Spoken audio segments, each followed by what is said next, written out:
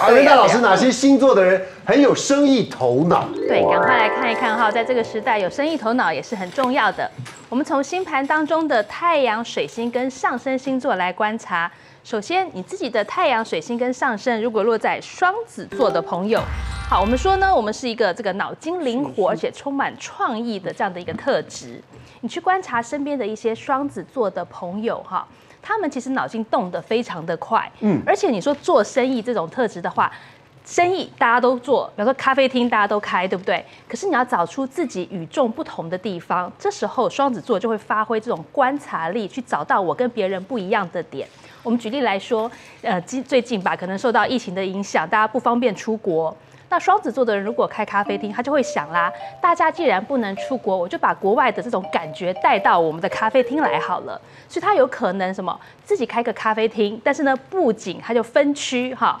这这个这个某个区块呢，可能布置成香港的港式风情，然后你在我们店里可以点这种香港的鸳鸯咖啡，你可以坐在这里就有这种到香港的感觉。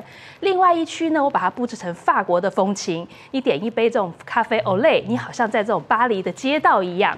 那这种慢慢你的差异性跟隔壁的咖啡厅就做出来了。那他们说，哎，那可是如果很多人觉得我们生意不错，开始模仿的话呢，双子座也不担心，他觉得我随时可以有新的点子出来，不怕别人抄袭。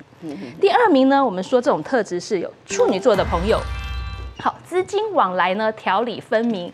好，两位来宾也没有，哈，也没有，没有。来，我们来看哈，处女座的特质是怎么样？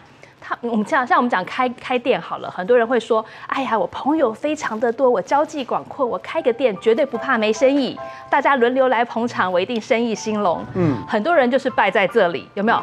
朋友来啊，一定要打个折，或者是呢，明明点了这个两百块的餐点，我就送上五百块的这个 这个餐的分量。嗯，好，吃着吃着，朋友越多，倒得越快。对，好，都会有这样的一个情况。都是这样，都是这样，很多都是这样子，都是这样子。而且你真的要算清楚，他们会不好意思。嗯，处女座他就不会有这样的一个困扰了，他们自己那种头脑，特别是关于金钱的部分，其实是非常的清晰清楚的。该算的账，我们就好好的算清楚。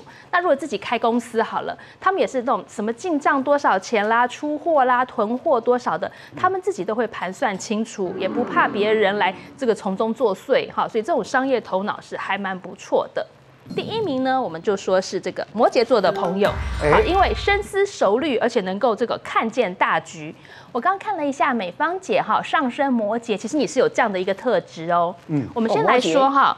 像双子座、处女座，我们这是比较级。如果说相对是做一个小生意的话，摩羯座他们其实企图心是要做大事业。嗯，等于说他们的一种这种做生意的出发点是，我们要做规模就看得很大，做的很就是看得很远，做的很大这样的一个特质。好，然后呢，摩羯座的人通常他们很耐得住性子。你知道，因为有时候你说有商业头脑，但是你这种需要一点铺陈的时间，对不对？不是说我今天开了店，我明天或是我下个月就能够赚钱。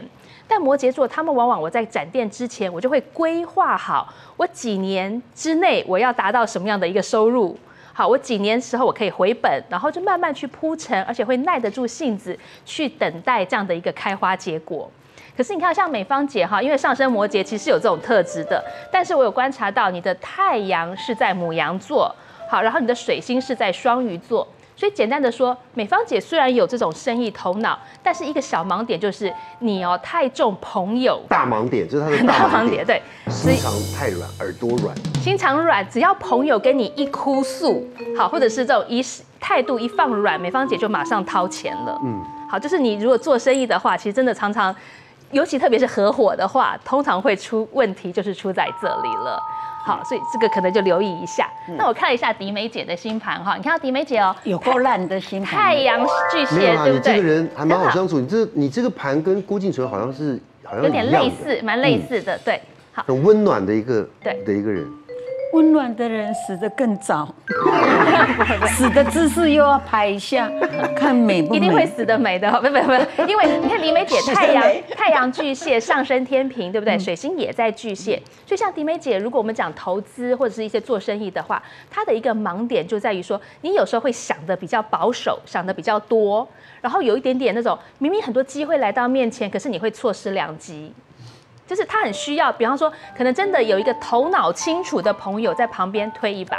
对，好，不能乱推哦，不能随便乱选朋友。可是你要选那种头脑很清楚、分析到位，然后推他一把，他就比较会有行动力了。哦，对，提供给大家参考。